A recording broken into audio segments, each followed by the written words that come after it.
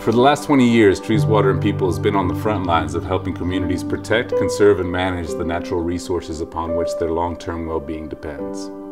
Our international program is focused primarily in Guatemala, Honduras, El Salvador, and Nicaragua.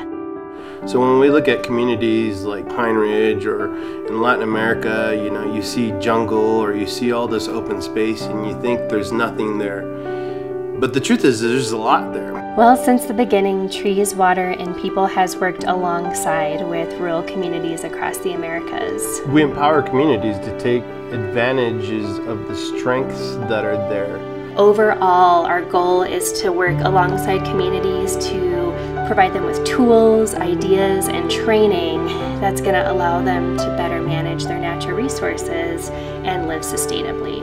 However, if we do lose our rural populations. Um, we're losing the stewards of our watersheds. We're losing the producers of our food. The problems we're working on are persistent. They're huge. They're getting bigger. Our goal for the next 20 years is to really replicate as much as possible. Um, and the way that we can do that best is by finding those supporters that are in it for the long haul.